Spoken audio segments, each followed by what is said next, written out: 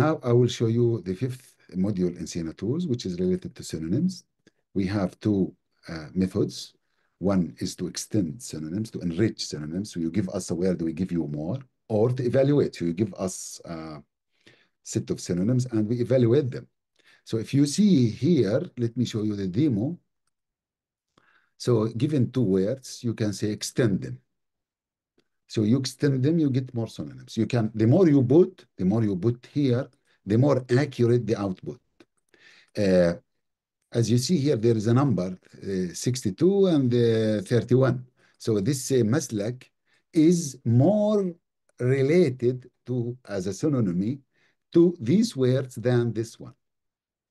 Uh, so if you can, you can even put one uh, one word, you say mamar, but the, then the numbers means nothing after that.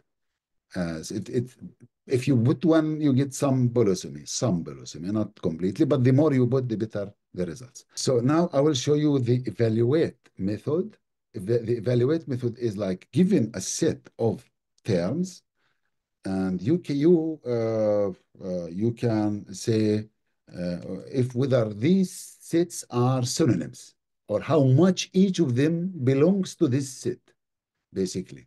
Uh, you press evaluate and then it will say, well, Tariq is more related, then Mamar, then Sabil, then Maslak, but Tawli is zero because it's not, not related.